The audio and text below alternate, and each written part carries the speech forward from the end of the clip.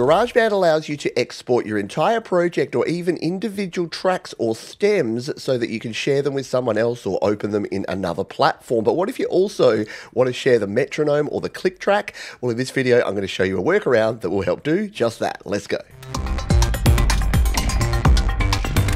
Hi, my name is Pete, and welcome back to another GarageBand iOS 5 minute tip. Some basics first. If we have a GarageBand project like this one and we tap in the top left to save it, if we want to export this, all we need to do is tap and hold and hit the share button. To export the whole song as a single audio file, we tap on Song, and if we want to export the project file to share that, we tap on Project. Now, GarageBand doesn't have an easy way to export all of these tracks as individual tracks or stems. What you have to do is individually solo each one and then come out and do the process we did before by tapping and holding, tapping on Share, and sharing each one as a song. That creates an individual audio file. You collect up those audio files and then you can send them off to someone else to bring them into another platform. But recently I got a question from someone asking, what about my metronome? I want to send a metronome track as well so that someone else working on this can have the original click track. And the short answer to that is no, it's not possible to send this click track, but it's very possible to make your own and send that. To do this, we're going to tap on the plus button in the bottom left, scroll across until we get to the drums,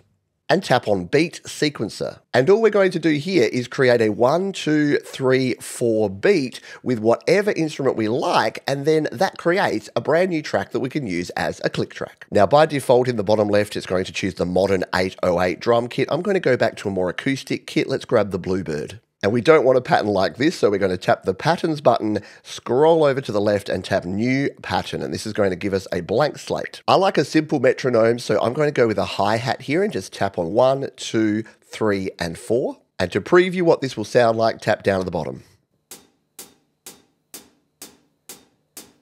Now, what some folks like is a metronome that has a different sound on the one beat. So let's say we wanted to use this open hi-hat for the one. Let's take a listen.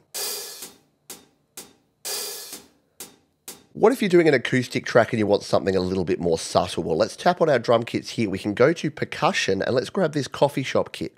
And this time, let's set up our metronome using our woodblock.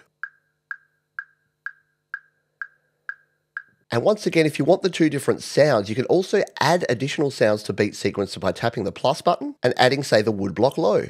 Now let's move the 2, 3 and the 4 down to this low sound and you get a more traditional metronome sound. To add this to our project, just hit record. And you only need one bar because we can then loop it out. To do that, tap on the tracks view. Tap to select this one and drag it back to the one bar. Then tap again and tap on loop. Let's solo this and take a listen to our own homemade click track.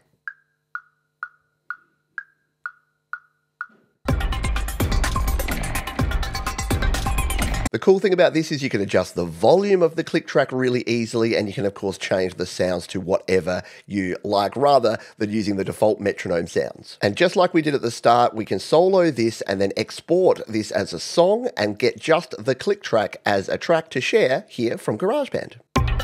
There you have it. This should make it super easy when you're sharing your projects with other folks that aren't using GarageBand because you can use your own custom click track. To learn more about creating, recording, and releasing in GarageBand, check out the other videos in the description.